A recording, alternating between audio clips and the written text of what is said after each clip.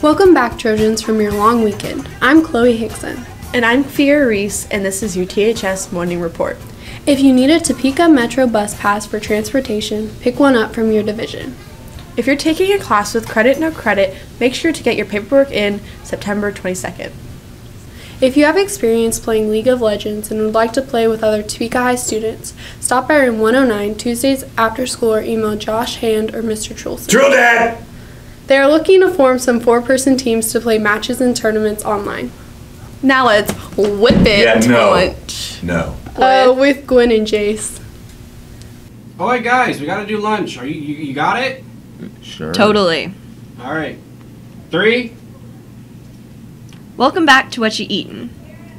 Today we'll be having uh, Big Daddy's Pizza, ravioli with cheese breadstick, and uh, uh, chicken strips with fries.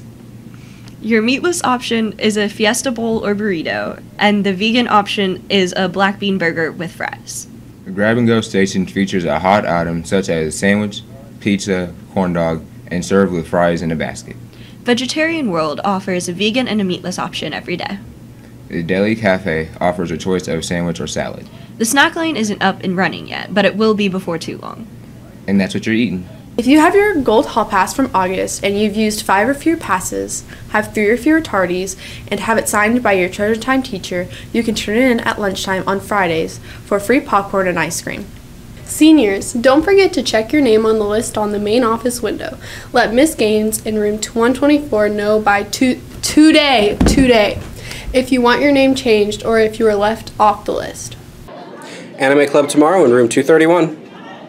This year, WSU will be giving away three $60,000 scholarships to DSI competitors.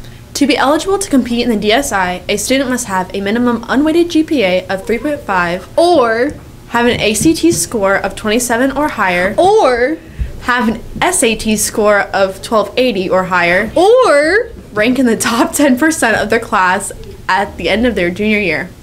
So, any students who meet one of those qualifications or are interested in other competitive scholarships at WSU are more than welcome on September 7th from 2:15 to 2:45. and that's all we have for you today, Topeka High. And remember, it's a great day to be a Trojan. And we're out. Autobots, roll out, get to class.